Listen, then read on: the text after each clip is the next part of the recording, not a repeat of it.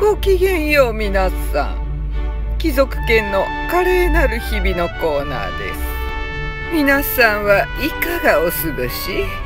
はい私はねこの間ちょっとお出かけしてきたわよ。秩父にある緑の村。木陰が多いから夏の暑い日は肉球にも優しいしおすすめよ例のウイルスのせいでジャブジャブ池っていうのがやってなかったのよね。それがちょっと残念だったわ。でもそのせいもあってかあんまり人がいなくてソーシャルディスタンス取れまくりよ。帰りにはさ長瀞寄ってみたんだけどそっちは人いっぱいいたわ。今回はねちょっと足元ジャブジャブってしただけで泳ぐのは今度ねだって。それにしてもお出かけって楽しいものなのね。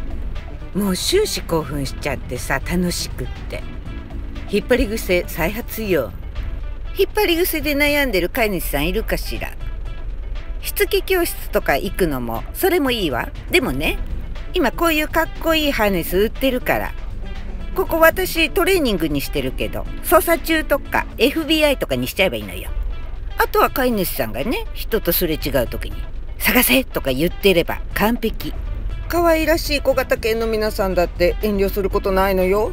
今活躍してる小型犬の皆さんいっぱいいるんだから。大丈夫よ。あなたの飼い主さんなら絶対できる。何？夢や希望を探す。あら素敵。ちなみにうちのルイおじいさんはね土の子探してんだって。笑っちゃうわよね。